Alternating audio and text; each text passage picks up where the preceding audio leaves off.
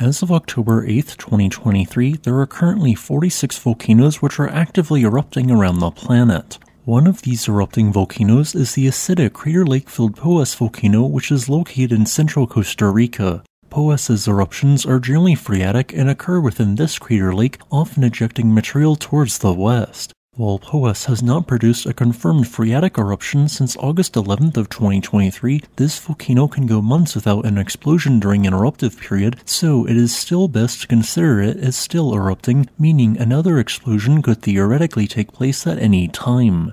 With this being said, here are this week's major volcano related news stories.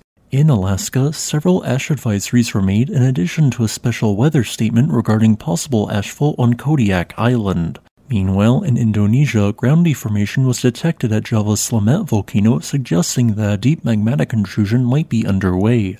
And, in what is this week's top story, it appears that Hawaii's Kilauea volcano might be gearing up for another eruption, as suggested by numerous monitoring instrumentation. For context, Kilauea has erupted three times so far during 2023, with eruptions lasting for 62 days, 13 days, and 7 days respectively.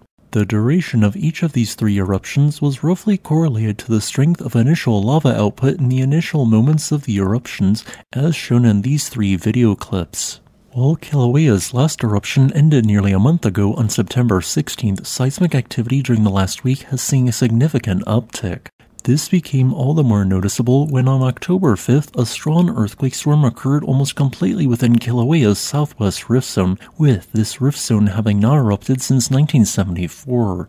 Within 36 hours of the storm's onset, 120 earthquakes occurred, uniformly at a shallow depth of 0.2 to 0.9 miles.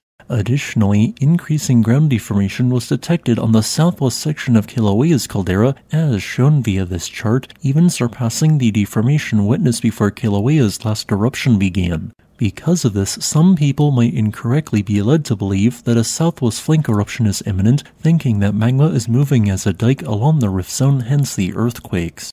Yet, while Southwest Rift Zone eruption is completely plausible as an outcome of the current unrest, it is oddly enough an unlikely outcome.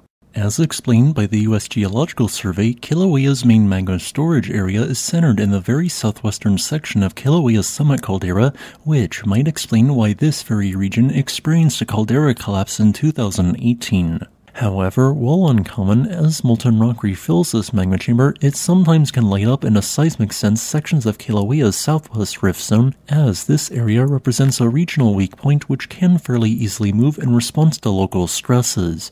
This rift zone also produced a similar seismic swarm in 2006, but a southwest rift zone eruption did not occur that year.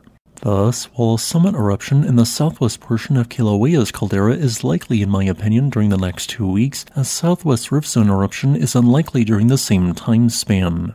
Meanwhile, in Indonesia, unusual activity was detected at not only the Lika volcano, which received a raised alert level of yellow in the last week, but also unusual readings were detected at the Slamet volcano, although its alert level still is currently at green as during the last week at this 11,243 foot tall volcano, ground deformation was detected. While one station showed fresh uplift, a second showed fresh subsidence, and a third showed no change. Clearly, some magma was moving underneath this volcano, and this was later confirmed to be occurring, as the number of earthquakes related to fluid movement has increased to more than 100 a day since September 28th. This is probably being caused by the intrusion of magma moving from 10 to 9 kilometers depth in the crust. In Alaska, while there are no volcanoes erupting within Katmai National Park, the Trident volcano is still at a raised alert level of yellow. Yet, despite the fact that no volcano in the park erupted during the last week, volcanic ash advisories were issued on three consecutive days October 3rd, October 4th, and October 5th. A special weather statement was even issued for the 13,000 people who live on Kodiak Island to the east, as there was a potential for trace ash particles to fall on the ground.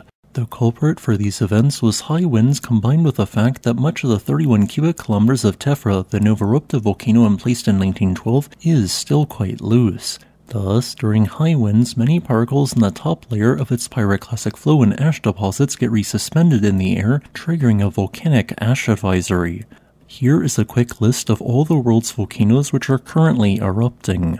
Additionally, here are some volcanoes showing signs of unrest which are not erupting as of the recording of this video on October 7th of 2023. As a final note, I would like to thank this channel's patrons on Patreon and channel members on YouTube.